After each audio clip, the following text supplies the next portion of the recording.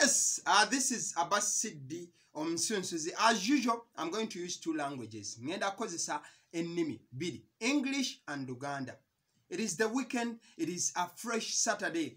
Uh, let's go in for some uh, weekend uh, betting tips. Katunoonyeko ate emipiira gye tugenda okubanga tusiba egyakapapula. I'm always giving you games so that you can add to your ticket or you can see if you can add them to your ticket or not. Mbawaayo emipiira ne mulaba oba mukiteeka ku kapapula kammwe oba nedda.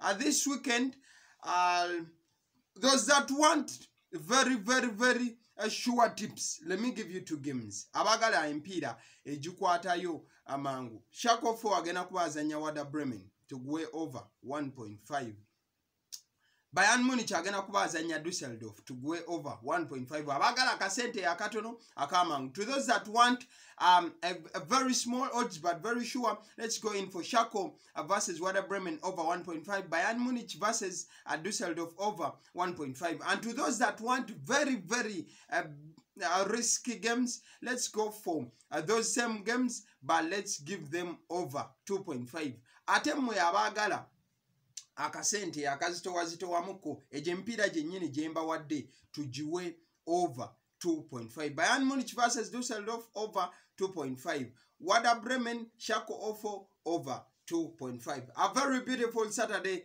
to everyone. Don't forget to subscribe. Mukama abakuumi